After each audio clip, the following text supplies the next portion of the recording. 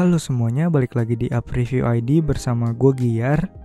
Setelah sebelumnya ngebahas Durgot K620W yang punya layout TKL, kali ini gue mau ngebahas keyboard dari brand yang sama, Durgot.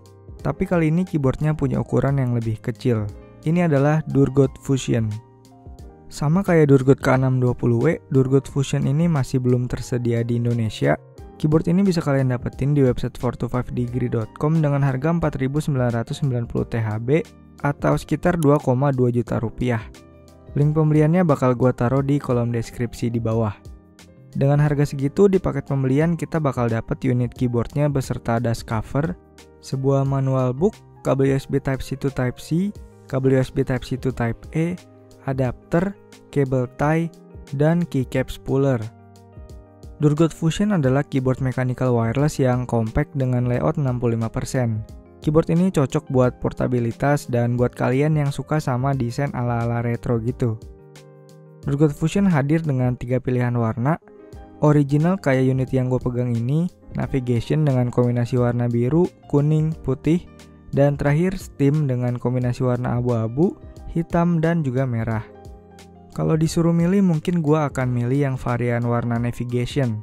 Tapi varian warna original ini menurut gue sih yang paling dapat feel retronya ya. Selain karena desain, colorway keycaps versi original ini menurut gue juga yang paling retro banget sih. Beda sama Durgot K620W yang lumayan berat, Durgot Fusion ini kerasa cukup enteng dengan material plastiknya. Meskipun begitu, menurut gue build quality dari keyboard ini udah cukup kokoh nggak ada bagian-bagian tertentu yang kendor gitu. Di bagian kiri atas terdapat logo Durgot dengan background hitam. Kalau dilihat sekilas ya ini emang kayak tempelan logo aja.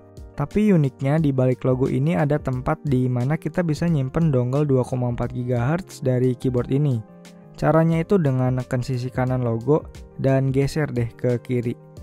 Jadi ini kayak magnetik gitulah. Dengan mekanisme tempat nyimpen dongle yang kayak gini, bikin feel retronya itu jadi makin dapat lagi menurut gua. Magnetnya juga kuat kok, jadi nggak bakal gampang kelepas. Di bagian kanan atas ada switch on off, kemudian di kirinya ada tiga buah lampu indikator, mulai dari indikator caps lock, configuration profile, dan indikator baterai. Di bagian bawah terdapat total 6 rubber feet yang cukup tebal, 3 di sisi atas dan 3 lagi di sisi bawah. Jadi ketika taruh keyboard ini di meja, keyboardnya itu jadi nggak gampang goyang atau kegeser gitu. Terus di bagian atas ini ada satu tingkat kaki-kaki yang udah terdapat rubber fit juga. Untuk unit yang gue pegang ini menggunakan Cherry MX Red Switch, typing feel-nya sih nyaman-nyaman aja buat gue. Tapi untuk typing soundnya sih gue nggak begitu suka ya. Gue lebih suka yang Durgot K620W kemarin.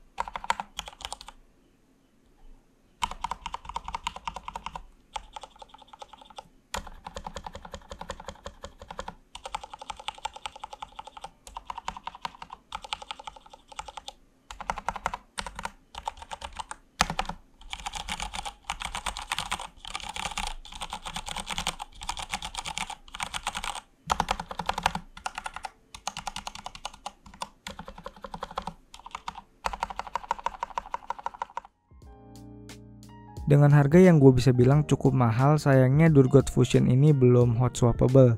Itulah kenapa di paket pembelian kita cuma dapat keycap spooler aja, nggak dapat switch spooler juga. Keyboard ini punya keycap cherry profile dengan kualitas yang bisa dibilang premium, PBT double shot, font yang cocok sama kesan retro keyboardnya, dan kualitas print yang mantap juga. Walaupun nggak tebel-tebel banget, tapi menurut gue keycapsnya ini udah bagus. Keycapsnya juga nggak shine through karena emang nggak ada LED light di keyboard ini, tapi menurut gue itu hal yang bagus sih. Karena rasanya jadi kurang cocok aja gitu ketika keyboard ini dengan looks retronya dikasih LED light warna putih atau bahkan RGB malah lebih nggak nyambung. Ya kurang match aja sih sama warna keycapsnya.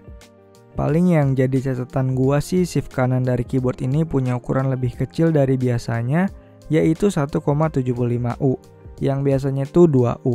Jadi ketika gua mau pencet shift kanan kadang itu kepencetnya malah arrow atas. Ini sebenarnya masalah adaptasi aja sih. Durgot Fusion ini juga udah support software Durgot Zeus Engine yang di sana kita bisa lihat sisa baterai dan adjust beberapa fitur tambahan dari keyboardnya. Untuk baterai karena punya ukuran yang lebih kecil dari Durgot K620W, otomatis kapasitas baterai dari Durgot Fusion ini juga lebih kecil. Klaim dari Durgotnya sih keyboard ini bisa bertahan sampai sekitar 40 hari dengan rata-rata penggunaan 2-3 jam per harinya. Gue udah pakai keyboard ini selama kurang lebih semingguan buat kebutuhan ngetik-ngetik kayak biasa, browsing, sampai main game juga dengan koneksi dongle 2,4 GHz nya. Kesimpulan menurut gue Durgot Fusion ini adalah keyboard 65% yang cocok buat mereka penyuka desain retro dan juga banyak duit. Kenapa gue bilang banyak duit? Karena menurut gue harga dari keyboard ini cukup mahal, apalagi dengan keterbatasan dari keyboard ini sendiri. Gue ngerasa yang mahal dari keyboard ini memang cuma desain atau looks retronya aja yang bagus. Selebihnya ya keyboard ini punya fitur yang biasa-biasa aja. Bahkan buat harganya menurut gue sih lumayan kemahalan.